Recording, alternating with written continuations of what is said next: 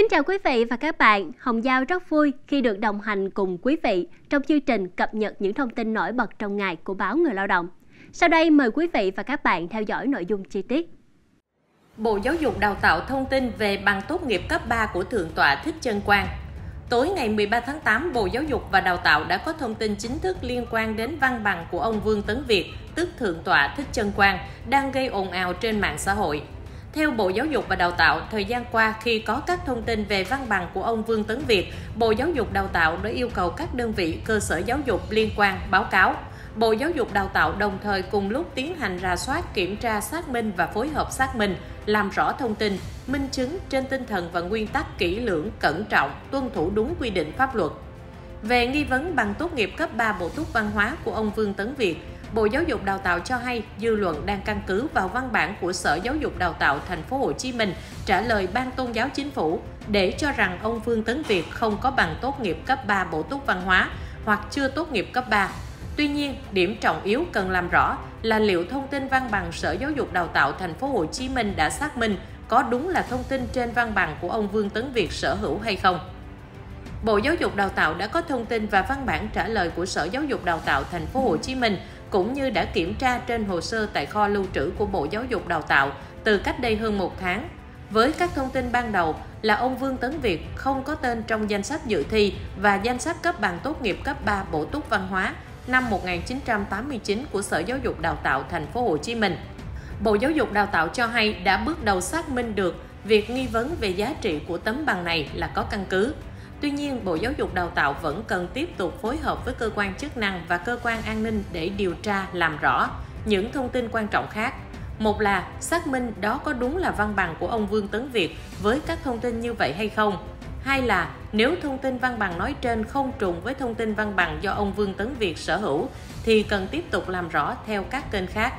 Liên quan đến việc xác minh hồ sơ quá trình đào tạo tiến sĩ của ông Vương Tấn Việt, Bộ Giáo dục Đào tạo đã tiến hành kiểm tra xác minh hồ sơ quá trình đào tạo của ông Vương Tấn Việt tại Trường Đại học Luật Hà Nội.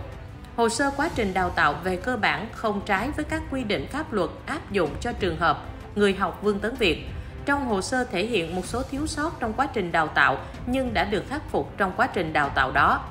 Về thẩm định chất lượng luận án tiến sĩ của ông Vương Tấn Việt, theo quy định hiện hành về đào tạo tiến sĩ, Bộ Giáo dục Đào tạo đã gửi các chuyên gia phản biện thẩm định chất lượng luận án. Trên cơ sở kết quả thẩm định, Bộ Giáo dục Đào tạo sẽ tiến hành thành lập hội đồng thẩm định luận án theo đúng quy định. Quy trình này cần thêm thời gian để tổ chức thực hiện.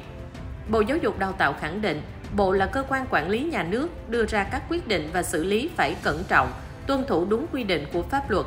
Bên cạnh đó, trong quá trình xác minh vụ việc, có những thông tin chưa được phép công bố khi chưa có đầy đủ căn cứ, Bộ Giáo dục Đào tạo đã chủ động phối hợp với các cơ quan chức năng để có thông tin rõ ràng, chắc chắn trước khi cơ quan có thẩm quyền đưa ra công bố chính thức. Trường Đại học Luật Hà Nội nói gì về việc Thượng tọa Thích Chân Quang chưa tốt nghiệp bổ túc văn hóa? Liên quan việc ông Vương Tấn Việt, Thượng tọa Thích Chân Quang chưa tốt nghiệp bổ túc văn hóa, Trường Đại học Luật Hà Nội cho biết sẽ thực hiện các thủ tục theo quy định của Bộ Giáo dục và Đào tạo về quản lý văn bằng chứng chỉ, Trao đổi với phóng viên báo Người Lao động về thông tin Sở Giáo dục và Đào tạo thành phố Hồ Chí Minh vừa có văn bản báo cáo Ban Tôn giáo Chính phủ, Bộ Nội vụ, trong đó nêu rõ ông Vương Tấn Việt, Thượng tọa Thích Chân Quang, không có tên trong danh sách cấp bằng tốt nghiệp cấp 3 bổ túc văn hóa khóa ngày 6 tháng 6 năm 1989. Đại diện trường Đại học Luật Hà Nội cho biết đã nắm được thông tin này vào sang ngày 13 tháng 8. Trả lời câu hỏi về hướng xử lý đối với người sử dụng văn bằng không hợp pháp, đại diện trường Đại học Luật Hà Nội cho hay về nguyên tắc, khi có văn bản chính thức của cơ quan quản lý thì trường sẽ thực hiện các quy trình theo quy định của Bộ Giáo dục và Đào tạo. Nếu học viên sử dụng bằng giả để tuyển sinh thì thì các trường đào tạo và cấp bằng ở bậc cao hơn sẽ thực hiện các thủ tục theo quy định của Bộ Giáo dục và Đào tạo về quản lý văn bằng chứng chỉ. Theo quy định của Bộ Giáo dục và Đào tạo đối với tuyển sinh và đào tạo trình độ cử nhân, thạc sĩ và tiến sĩ, trường hợp học viên có hành vi gian lận trong việc làm hồ sơ để được cấp văn bằng, chứng chỉ, sử dụng bằng giả trong hồ sơ đăng ký thì sẽ bị buộc thôi học. Các văn bằng nếu đã được cấp sẽ bị thu hồi, hủy bỏ theo quy định. Nghị định số 04 ngày 22 tháng 1 năm 2021 của Chính phủ quy định xử phạt vi phạm hành chính trong lĩnh vực giáo dục quy định rõ, tùy theo hành vi cụ thể mà người sử dụng bằng giả có thể bị xử phạt vi phạm về hành vi gian lận để được cấp văn bằng, chứng chỉ hoặc bản sao văn bằng, chứng chỉ với mức phạt từ 30 triệu đến 40 triệu đồng, khoảng 3, điều 21 Nghị định 04. Trước đó, Sở Giáo dục và Đào tạo thành phố Hồ Chí Minh đã có văn bản báo cáo Ban Tôn giáo Chính phủ, Bộ Nội vụ về xác minh văn bằng tốt nghiệp cấp 3 bổ túc văn hóa của ông Vương Tấn Việt, Thượng tọa Thích Chân Quang. Theo Sở Giáo dục và Đào tạo thành phố Hồ Chí Minh, ngày 30 tháng 7, Sở này có buổi làm việc với đoàn kiểm tra của Ban Tôn giáo Chính phủ, Bộ Nội vụ về việc xác minh quá trình học tập của ông Vương Tấn Việt. Qua buổi làm việc, Sở Giáo dục và Đào tạo đã phối hợp đoàn kiểm tra rà soát toàn bộ hồ sơ gồm danh sách thí sinh tốt nghiệp bổ túc trung học phổ thông và danh sách ghi tên ghi điểm của tất cả thí sinh dự thi khóa ngày 6 tháng 6 năm 1989. Kết thúc quá trình kiểm tra, Sở Giáo dục và Đào tạo thành phố Hồ Chí Minh xác nhận kết quả rà soát hồ sơ thi tốt nghiệp trung học phổ thông của ông Vương Tấn Việt, sinh năm 1959 như sau: không có tên trong danh sách dự thi và bản ghi tên ghi điểm trong kỳ thi tốt nghiệp bổ túc văn hóa cấp 3 năm 1989 của Sở Giáo dục và Đào tạo thành phố Hồ Chí Minh. Không có tên trong danh sách cấp bằng tốt nghiệp cấp 3 bổ túc văn hóa khóa ngày 6 tháng 6 năm 1989 của Sở Giáo dục và Đào tạo thành phố Hồ Chí Minh.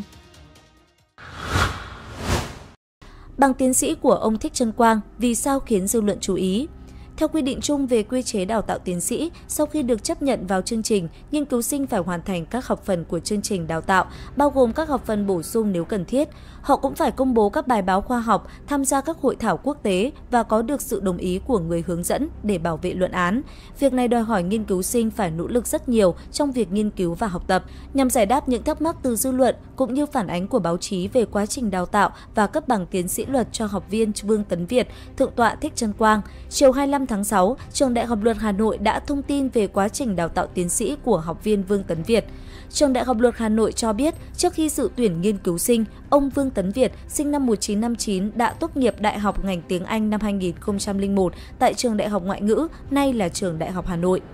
Cụ thể, năm 2017, học viên trúng tuyển văn bằng 2 khóa 1 trình độ Đại học Luật, hình thức vừa làm vừa học của Trường Đại học Luật Hà Nội mở tại trường Cao đẳng Bách Việt, thành phố Hồ Chí Minh.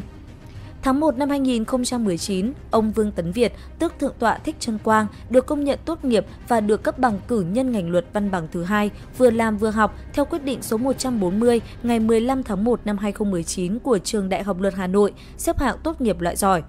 Tháng 11 năm 2019, ông Vương Tấn Việt trúng tuyển nghiên cứu sinh khóa 25B, niên khóa 2019-2023 theo quyết định 4567 ngày 26 tháng 11 năm 2019 của Trường Đại học Luật Hà Nội. Ngày 26 tháng 12 năm 2019, học viên được công nhận nghiên cứu sinh và tới ngày 9 tháng 12 năm 2021, ông Việt bảo vệ thành công luận án tiến sĩ cấp trường tại Trường Đại học Luật Hà Nội. Ngày 17 tháng 3 năm 2022, nghiên cứu sinh được cấp bằng tiến sĩ luật ngành luật hiến pháp, hành chính. Liên quan đến quá trình đào tạo tiến sĩ của nghiên cứu sinh Vương Tấn Việt, Trường Đại học Luật Hà Nội cho biết, căn cứ trên luật sửa đổi, bổ sung một số điều của Luật Giáo dục Đại học năm 2018, quyết định số 1981 ngày 18 tháng 10 năm 2016 của Thủ tướng Chính phủ phê duyệt khung cơ cấu hệ thống giáo dục quốc dân, thông tư số 08/2017 ban hành quy chế tuyển sinh và đào tạo trình độ tiến sĩ ngày 4 tháng 4 năm 2017 quyết định số 261 ngày 24 tháng 1 năm 2019 của Trường Đại học Luật Hà Nội quy định chi tiết về tuyển sinh và đào tạo trình độ tiến sĩ. Ngày 7 tháng 6 năm 2019, nhà trường ra thông báo tuyển sinh số 2190 về việc tuyển sinh nghiên cứu sinh đợt 2 năm 2019. Theo đó, người dự xét tuyển nghiên cứu sinh phải đáp ứng các điều kiện sau. Có một trong các văn bằng sau đây. A. Bằng thạc sĩ luật học đúng ngành hoặc khác ngành đăng ký dự tuyển. Trường hợp thí sinh có bằng thạc sĩ luật học khác ngành đăng ký dự tuyển thì sau khi trúng tuyển, thí sinh phải học bổ sung kiến thức ở trình độ thạc sĩ của ngành đào tạo tiến sĩ đã trúng tuyển. B. Bằng cử nhân luật hệ chính quy loại giỏi trở lên do các trường đại học trong nước được Bộ Giáo dục và Đào tạo giao nhiệm vụ đào tạo. Ngày 30 tháng 9 năm 2019, trường có thêm thông báo số 3679 về việc đính chính thông tin về điều kiện dự tuyển nghiên cứu sinh trong thông báo tuyển sinh nghiên cứu sinh đợt 2 năm 2019 để phù hợp với quyết định số 261. Trường Đại học Luật Hà Nội khẳng định áp dụng với trường hợp của ông Vương Tấn Việt là đủ điều kiện được dự tuyển chương trình đào tạo tiến sĩ của Trường Đại học Luật Hà Nội. Cũng theo nhà trường, ông Vương Tấn Việt có đủ điều kiện để học thẳng lên tiến sĩ. Cụ thể, có bằng tốt nghiệp đại học ngành luật, loại giỏi là tác giả một báo cáo khoa học in trong kỷ yếu hội thảo khoa học quốc tế có phản biện năm 2017. Có năng lực ngoại ngữ, bằng tốt nghiệp đại học, ngành tiếng Anh, quy định tại Điều 5 Thông tư số 05-2017 ngày 4 tháng 4 năm 2017 và Điều 6 Quyết định 261. Trường Đại học Luật Hà Nội cho biết thêm, từ tháng 12 năm 2019 đến tháng 6 năm 2021, nghiên cứu sinh Vương Tấn Việt đã hoàn thành đầy đủ chương trình đào tạo trình độ thạc sĩ. Năm 2020 đến năm 2021, nghiên cứu sinh đã hoàn thành 7 học phần của chương trình đào tạo tiến sĩ. Đồng thời, ông Vương Tấn Việt đã hoàn thành các học phần bổ sung, các học phần ở trình độ tiến sĩ, công bố hai báo cáo bằng tiếng nước ngoài trong kỷ yếu hội thảo quốc tế có phản biện, được tập thể hoặc người hướng dẫn nghiên cứu sinh đồng ý cho đăng ký đánh giá luận án ở đơn vị chuyên môn. Ngày 3 tháng 10 năm 2021, nghiên cứu sinh có đơn xin rút ngắn thời gian đào tạo, đơn đề nghị được bảo vệ luận án cấp trường và được nhà trường đồng ý.